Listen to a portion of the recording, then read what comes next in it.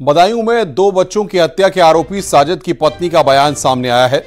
साजिद की पत्नी ने बताया कि वो प्रेग्नेंट नहीं है जबकि आरोपी ने पत्नी के प्रेग्नेंट होने का बहाना बताकर पैसे मांगे थे। अब पत्नी के इस खुलासे से केस में नया मोड़ आ गया है।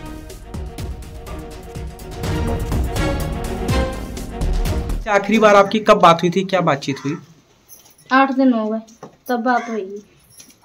क्या बातचीत हुई कुछ? हर सल्ला पूछ रहे थे और क्या बात हुई थी तो आपको कब पता लगा ये बच्चों के बारे में साजिद के बारे में कुछ जानकारी? पता लगा। उनका कहना है कि आप गर्भवती थी जो एफआईआर में। क्या आप गर्भवती हैं? गर्भवती नहीं है। साजिद ने कहा पाँच हज़ार रुपये लेने गया कि उसकी पत्नी की डिलीवरी होनी है बच्चा होना है आज। ऐसी कोई बात है है ना। तो तंत्र मंत्र भी कत्ल के पीछे एक वजह हो सकती है ऐसे दावे किए जा रहे हैं। न कि न्यूज़ एटीन का यह दावा आया, पूरी घटना कब, कैसे हुई, आइए इसे भी समझ लेते हैं। मेरे आयुष को ले गया ऊपर अकेले काट दिया।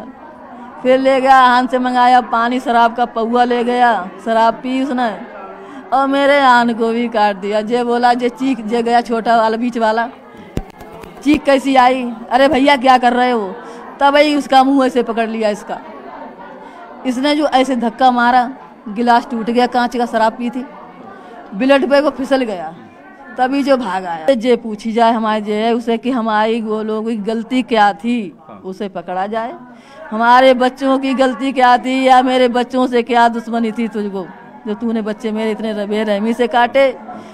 उसके बाद में तब एनकाउंटर करे फिर उसके परिवार जैसे हम आज बिलक रहे हैं ऐसे उसका भी परिवार बिलक है। मांगे पाँच हज़ार भाभी। जावेद ने अब आने पैसा मांगे। हमारी वाइफ हॉस्पिटल में भर्ती है। दादे ग्यारह बजे को टाइम दो डिलीवरी हो तो हमने इनके पापा से फ़ोन करो, आई उसके तो बोले दे दो, कोई बात नहीं वो दे देगा सवेरे सही लड़का है। मैंने पाँच हज़ार निकाले दुकान में से, हमने दे दे। बहु, वहाँ से आओ, इधर ऐसे यहाँ खड़ो इको यहाँ से यहाँ खड़ो रहो कुल देर। बोलो टाइम पास ना रहो फ़ोन लगा रहो बेर बेर लगा रहो, जो कत कत बालकन बेला चलो गो दुकान मुझी गो वहाँ वहाँ देखो, वहाँ बाजे करके फिर बेलाई गो छाती पाए छाती पाने पे कतरी से घाटे दोनों मारे, दोनों पे कतरी से काटे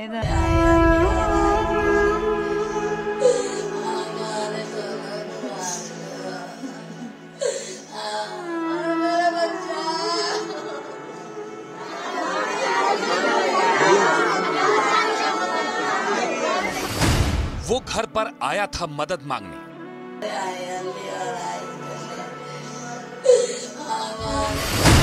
मदद मिली भी।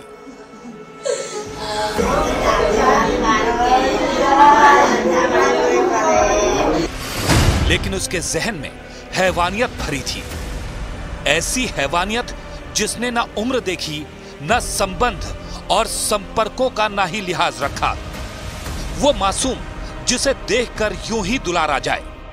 उसे भी बेरहमी से कत्ल करने में उसके हाथ नहीं कांपे। यूपी का बदायूं शहर। वक्त शाम करीब सात, साढ़े सात। दिन मंगलवार। तारीख 19 मार्च 2024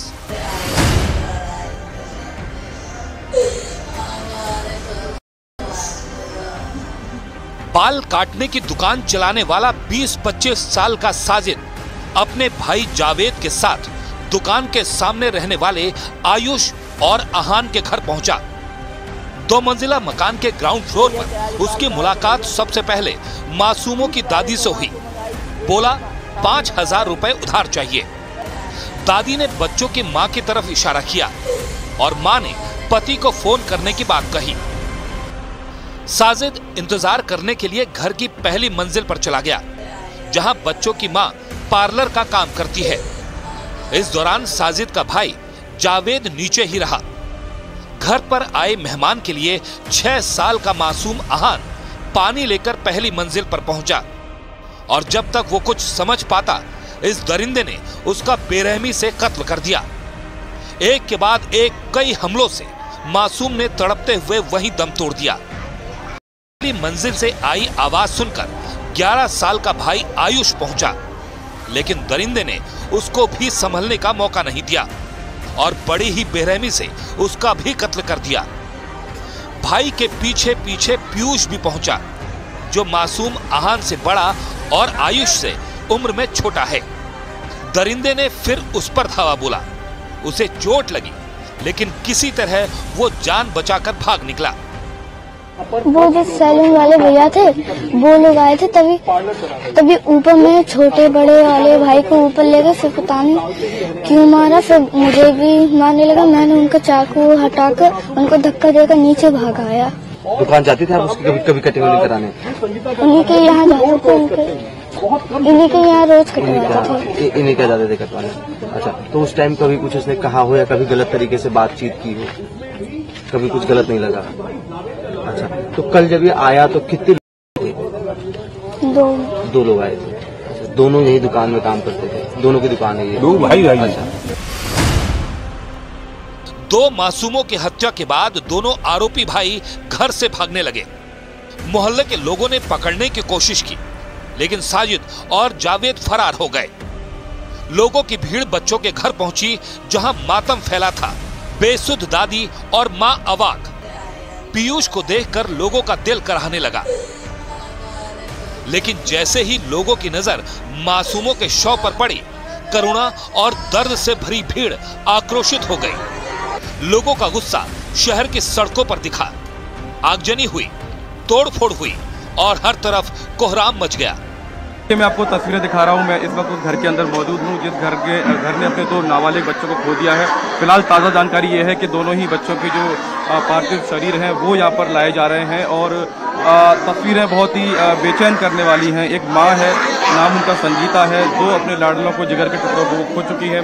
और जब से हम यहाँ पहुँचे, हम सिर्फ़ एक ही चीज़ यहाँ पर देख रहे हैं कि जो आ रहा है लिपट लिपट के उनकी माँ से रो रहा है। बहुत बुरा हाल उनकी माँ का है दादी का है और बीच बीच में वो बेहोश हो जाती है थोड़ा थोड़ी शुद्ध शुद्ध उनको आती है तो फिर से बच्चों को याद करती है और लगातार रोए जा रही हैं और कहीं ना कहीं वो दर्द क्योंकि उन, उन उस माँ ने अपने उन दोनों बच्चों को उस खून से लथपथ हाल में देखा है और अब वो उन तस्वीरें उनके बार बार रह रह उनके सामने आ रही हैं तो वो अब दर्द के तौर पर हम यहाँ पर समझ सकते हैं और ये पूरा घर, करीब दो मंजिल का घर है। इसी घर में ये पूरा हादसा यहाँ पर हुआ और लेकिन फ़िलहाल अब ताज़ा जानकारी ये है कि यहाँ पर अब जो बच्चों के पार्थिव शरीर हैं, वो यहाँ पर लाए जा रहे हैं और फ़िलहाल पुलिस की मौजूदगी भी यहाँ पर है। तमाम जो सबूत थे वो ऊपर उस पार्लर से जुटाए गए हैं जहाँ पर जो संगीता अपना पार्लर चलाती थी। लेकिन ये तस्वीरें बहुत बेचैन कर वाली हैं। संगीता के भाई या जो भी उनके करीबी, उनके पास होते हैं, वो निपट के रोने लगते हैं। और हमारी पूरी कोशिश ये है कि एक संवेदनशील होते उसको रखते हुए, संवेदनशीलता को रखते हुए, एक जिम्मेदार नेटवर्क होते हुए हम उस उस दर्द में ज़रूर उनके शरीक हैं। लेकिन कोशिश ये है कि पुलिस की किसी काम में बाधा यहाँ पर उत्पन्न ना हो।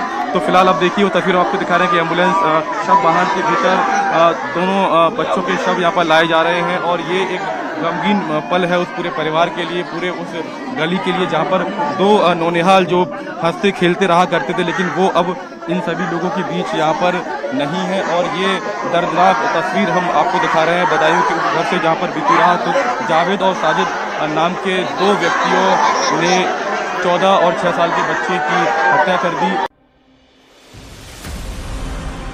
पुलिस भी मौके पर पहुँची तो मासूमों का इस हाल में देखकर काँप गई। लोगों को समझाया, बुझाया। लोगों बात की। जानकारी मिली कि दरिंदे पास के जंगल में छिपे हैं। पुलिस ने बिना मौका गवाए जंगल पर धावा बोल दिया। चारों तरफ़ से घिरे आरोपी ने भागने के लिए पुलिस पर फायरिंग कर दी। पुलिस ने भी जवाबी कार्रवाई की। थोड़ी देर की शांति के बाद जब जंगल में तलाशी हुई तो आरोपी का शव बरामद कर लिया गया। हालाँकि दूसरा आरोपी मौके से फरार हो गया।